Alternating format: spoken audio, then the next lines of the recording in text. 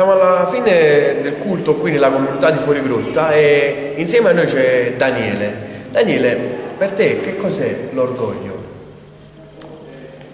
Ma devo dirvi in verità che l'orgoglio è stata proprio la causa che mi ha tenuto per tempo lontano dal Signore, perché eh, era proprio l'orgoglio che eh, mi frenava a poter eh, accettare Cristo nella mia vita.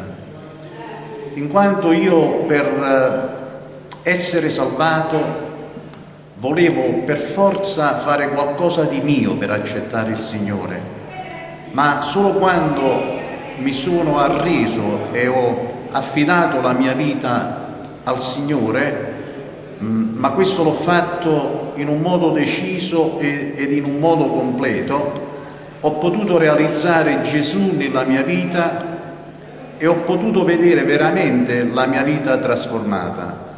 E quindi posso dire con certezza e fermezza che tutto quello che mi impediva di realizzare Gesù nella mia vita era proprio questo sentimento, l'orgoglio, che appunto non mi lasciava e che forse anche inconsciamente mi teneva frenato, mi teneva bloccato, mi teneva chiuso, insomma non mi faceva aprire tutto il mio cuore al Signore.